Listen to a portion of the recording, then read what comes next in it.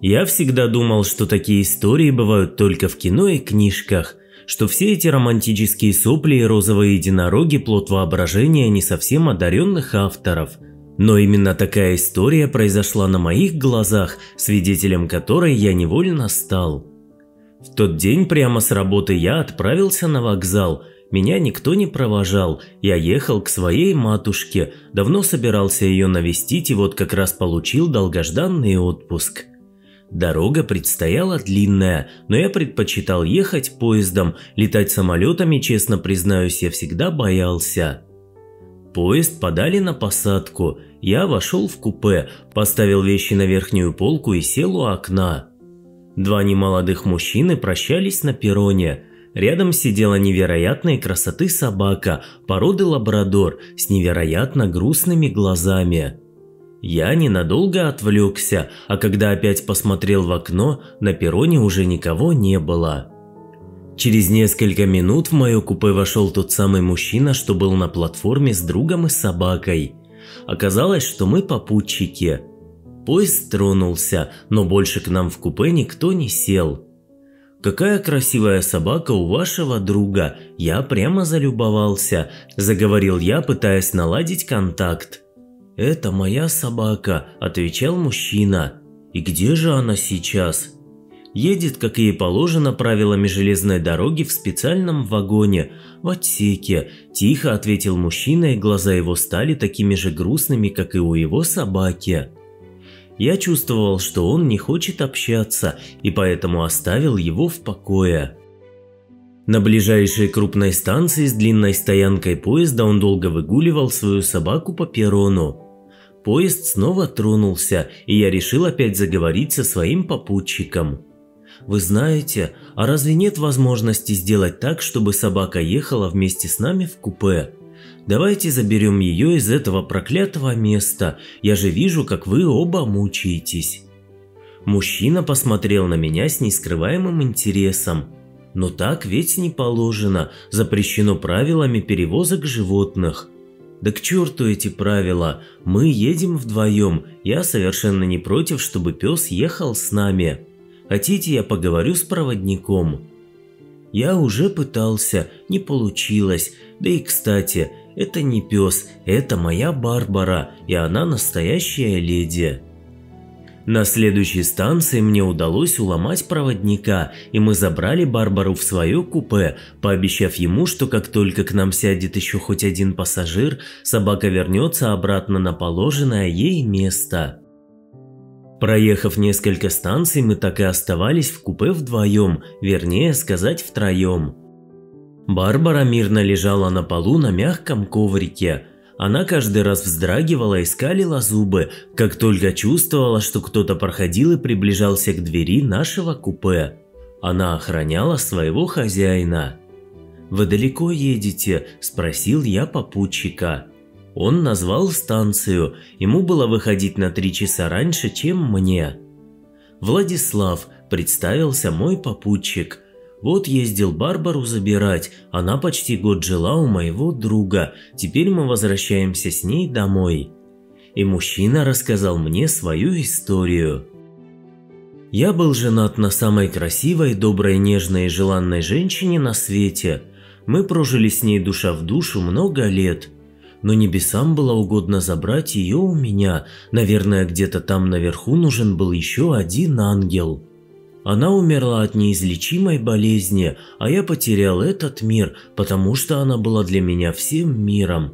И он достал из кармана пиджака фото.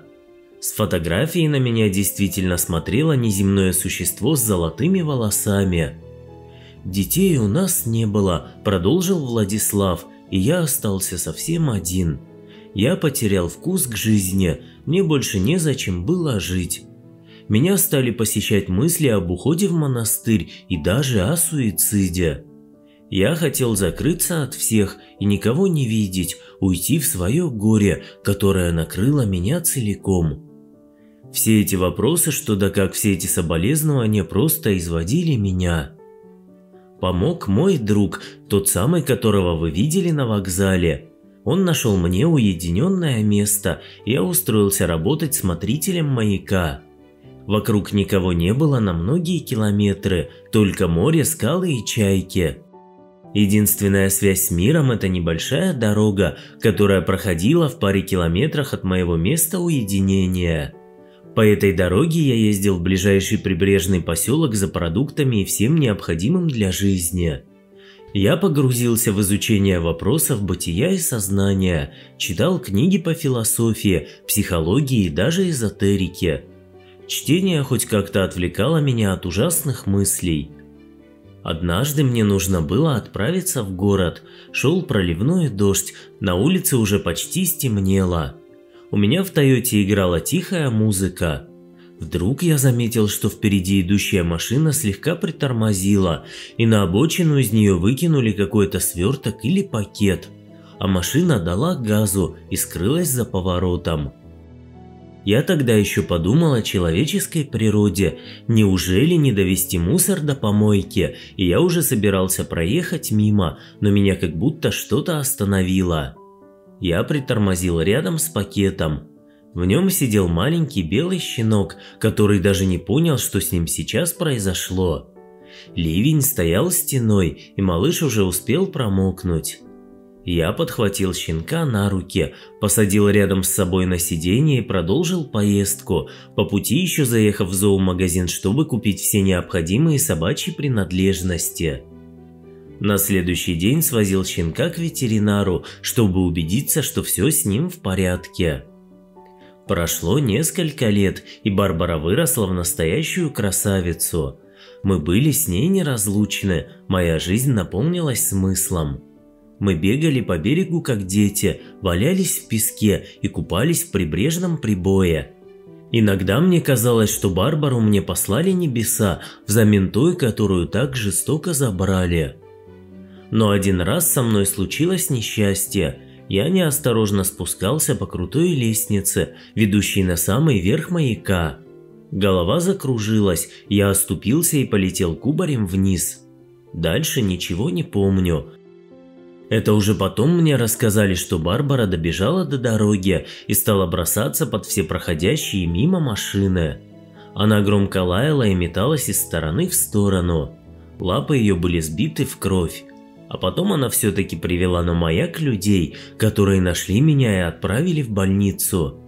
Переломался я очень сильно, почти целый год лечения и реабилитации. Хорошо, что мой друг забрал Барбару к себе. И вот благодаря молитвам моего ангела-хранителя я снова здоров, и мы опять вместе с моей спасительницей. «Какая же ты замечательная, Барбара!» И я погладил собаку по голове, а она ткнулась мне в ладонь своим мокрым носом. На следующей станции двери купе отворились, и в дверном проеме появилась молодая женщина. На нас с попутчиком смотрело лицо с фотографией его жены – я никогда в жизни не видел такого потрясающего сходства, но я видел, какие в этот момент у Владислава были глаза. «Вы не будете против, если с нами в купе будет ехать вот эта замечательная собака?» – спросил я у новой попутчицы. «Нет, не буду. Я очень люблю собак и рада такой чудесной встрече». Незнакомка протянула руку и погладила Барбару. «А до какой станции вы следуете?» – спросил я, потому что Владислав не мог вымолвить ни слова. Незнакомка назвала станцию, до которой ехал мой попутчик с собакой. «Значит, нам по пути», – сказал Владислав, не сводя глаз с незнакомки. «Я Варвара, Варя», – представилась женщина, но друзья меня зовут просто Барбара, засмеялась она. Говорят, я очень похожа на польскую актрису Барбару Брыльску. И это была правда, у нее были такие же красивые глаза и золотые волосы. «Мою собаку тоже зовут Барбара», – сказал Владислав, – «и я не верю в такие совпадения, а вы?» Поезд мерно постукивал колесами. Через час после того, как Варя появилась у нас в купе, она очаровала всех, даже собаку. Барбара положила голову ей на колени, и они так ехали почти всю дорогу. В воздухе витала любовь, я это чувствовал всей кожей. Владислав и Варвара не сводили друг с друга влюбленных глаз. Когда мы доехали до нужной станции, они все вместе вышли из поезда, а я поехал дальше. Надеюсь, что они с тех пор больше никогда не расставались. Понравилась история? Ставьте лайк и подписывайтесь на канал, впереди еще много всего интересного. Всего доброго.